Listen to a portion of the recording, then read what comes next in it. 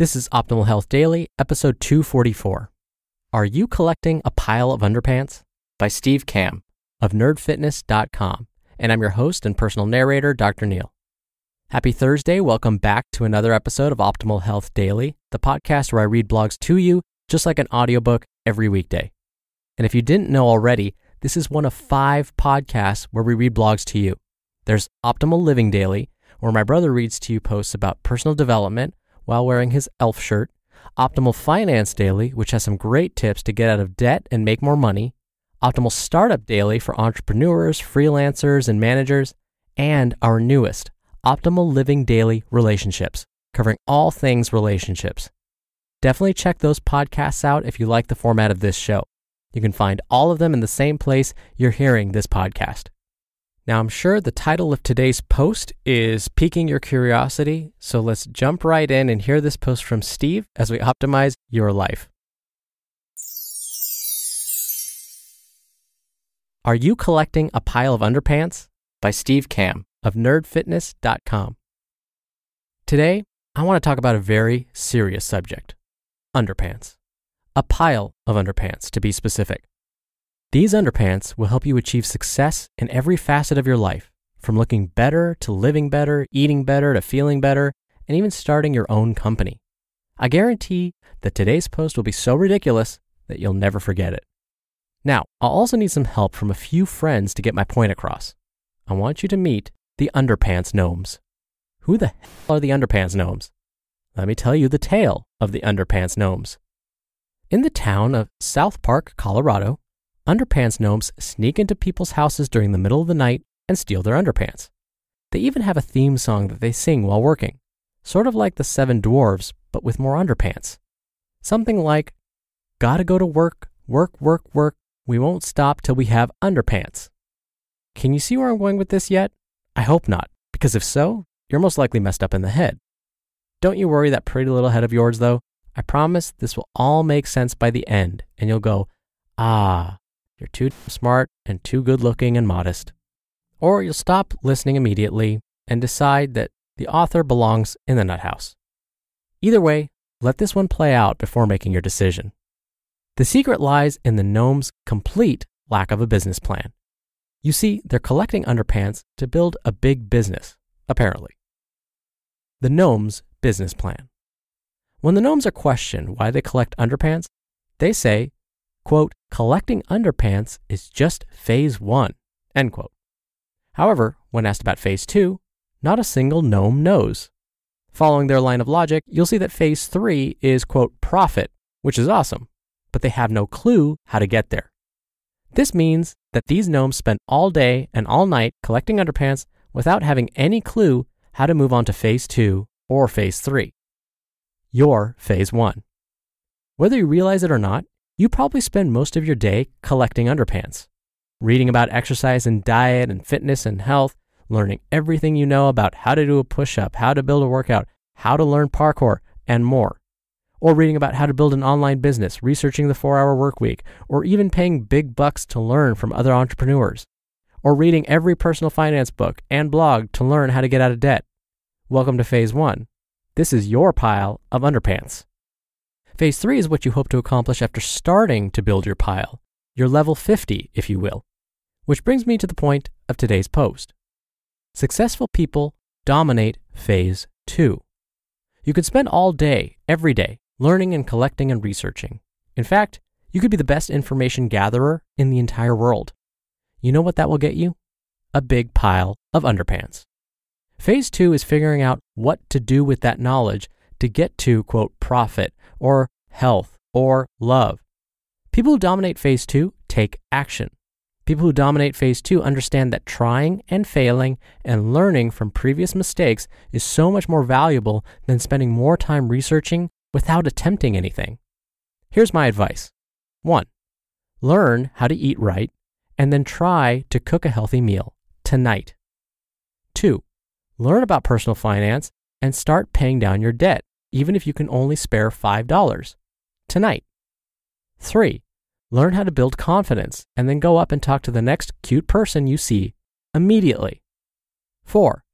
Learn how to speak a new language and then find somebody on Skype who speaks it fluently and start speaking from day one. 5. Spend all day researching how to build something, then try to make it today, even if it turns out crappy. I get a few emails every day from people who say something like, quote, I've done the research, I know what I'm supposed to do, but I don't have the motivation to start. Can you give that to me? Unfortunately, I can't. Phase two and what you do with your pile of underpants has to come from you. The desire to change, to live better, look better, feel better, and then the guts to try things out and see what works. Phase two is the ability to fail repeatedly and continue to attempt new things. Success in phase three comes when you learn to take things you've learned and researched and successfully put them into practice. People ask me how I started Nerd Fitness and built a business around it. Simple. I started. I read The 4 Hour Work Week. I read 279 Days to Overnight Success and then just started writing. Five articles a week for nine months until I discovered what worked and what didn't. And then cranked out two 2,500 to 5,000 word articles a week every week for the past two and a half years. I didn't spend money on blogging classes, internet marketing books, SEO strategy, or writing courses. That's a lot of underpants. I started writing creepy articles that got less and less creepy, put my focus on helping people and learning how to make more of an impact with my writing, and years later, here I am. Ask Jim of Beast Skills how he became a gymnastics guru. He taught himself. He read books and watched videos, watched other people doing these things, and then he went out and did it. He probably fell, busted up his body repeatedly, but he got better and better. And now he teaches people this stuff for a living. What's the secret? Spend 10% of your effort on phase one and 90% on phase two trying new stuff. For example, pick up some weights and try to strength train. Go into your gym, put the bar across your shoulders, and attempt your first squat. Hint, go deep. Ask somebody out and get shot down. Build a business that sucks. Start a crappy blog. Why? Because you're actually doing something. Learn from the gnome's mistake. Don't get stuck with a pile of underpants. Dominate phase two and make profit. You just listened to the post titled, Are You Collecting a Pile of Underpants? by Steve Kamb of nerdfitness.com. Okay, so that was probably the most creative post I've ever read. I think this quote that I'm about to share with you sums up Steve's perspective perfectly. Quote, Knowledge isn't power until it is applied. Dale Carnegie. So, you all know I'm all about collecting more information and gaining that knowledge. That's why I'm an educator. That's why I have this podcast, is to educate you all. But Steve's right. If you don't actually apply what I'm talking about or what we're telling you, then this is useless. So I truly hope that when you listen to these shows, yes, you get that knowledge. Remember, I want this to be a place of true information, to bust through some of those myths that you've been hearing, and to share with you what real data is showing to be true. But if you don't actually apply some of these concepts to your life, then you are just collecting knowledge. So I hope that not only does this podcast, does this show share this knowledge with you, but it inspires you.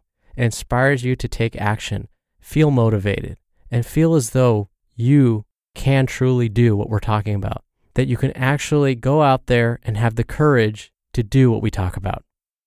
Now, just as a reminder, if you like the format of this show, check out Optimal Living Daily to learn more about habit building, minimalism, mindfulness, productivity, and lots more, which is hosted by my brother.